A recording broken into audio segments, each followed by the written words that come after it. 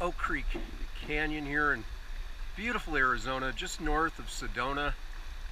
On 89A, basically, you want to go to mile markers like uh, about 388 I'm at. And you come down the embankment to the creek, and it can, absolutely cannot get more beautiful. I'm speechless and stuttering because it's that beautiful the sounds, the sights, the feeling, the smells, the touch, the icy water coming down from high elevation